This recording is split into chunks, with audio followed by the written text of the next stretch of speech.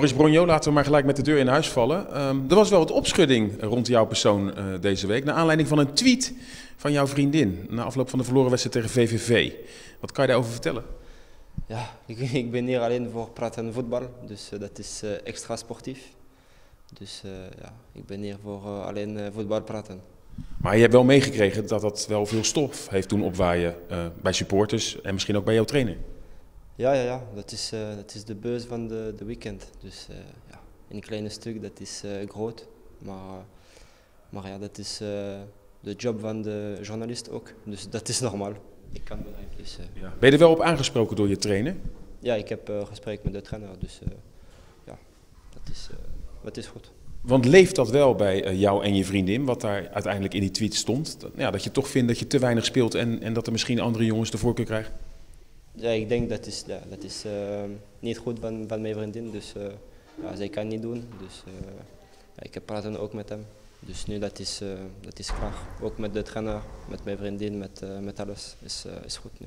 Maar ongetwijfeld dat jouw vriendin wel eigenlijk wil weergeven wat er, wat er misschien een beetje bij jou en bij jullie leeft. En bij supporters op internetfora lees je ook van waarom speelt die topscorer van vorig jaar zo weinig?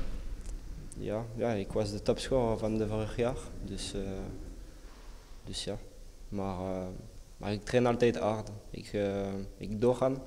Dus uh, voor mij dat is de meest belangrijk. Ik train hard in de training en ik ben fit, ik ben 100% en ik ben klaar voor, voor spelen. Wanneer de trainer zegt ja, je kunt spelen nu, je gaat op het veld en, ja, en je, kunt, je kunt ook doen mijn job. En, en ja, ik ben, ik ben altijd, altijd klaar, ook in mijn hoofd, dus dat is belangrijk. Was je wel verbaasd dat je uh, eigenlijk helemaal nog geen kans hebt gehad in deze voorbereiding en tegen VVV zelfs 90 minuten op de bank hebt gezeten? Ja, dat is, dat is voetbal. En uh, ja, geen paniek, dat is alleen de eerste wedstrijd. Dus de seizoen is nog lang. Dus er is nog uh, misschien 35 wedstrijden. Dus ja, ik denk geen paniek. Het is alleen de eerste wedstrijd. De tweede wedstrijd is in thuis. Dus het is beter voor ons met de supporters. Het is goed. Dus, ja, als ik ben niet in de basis, de trainer doet de keuze. Dus uh, ja, ik uh, accepteer.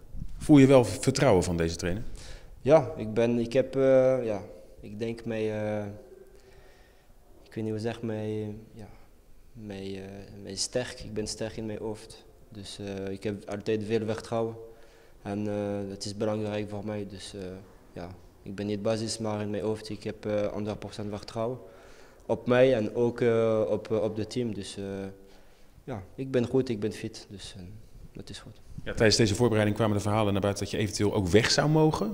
is dat zo? Blijf je bij Spartaan of, of, of, of, kijk je ook daadwerkelijk uit nog naar een andere club? Ik heb nog één jaar contract bij, bij Sparta, dus als ik ben hier, ik werk voor Sparta en ik geef alles voor het team. Dus als ik werk, ik werk. Maar als ik werk niet, ik ben hier, ik werk 100% voor de club. Speel je zondag, uh, aangezien de trainer misschien toch wat op, over een andere boeg moet gooien? Want vorige week was het niet goed. 3-0 verloren, uh, kortom. Uh, Sparta heeft doelpunten nodig. Weliswaar een nieuwe speler bijgekomen met Muren, maar speel jij? Ik weet het niet nog. Dus ja, zondag we kijken. Dus ja, er is nog een nieuwe spits. Dat is goed voor ons. En ja, we hebben veel kwaliteit in het team. Dus ja, geen paniek. Het is alleen de tweede wedstrijd zondag. Dus we kijken zondag en uh, ja, wedstrijd per wedstrijd. We kijken. Dus, uh.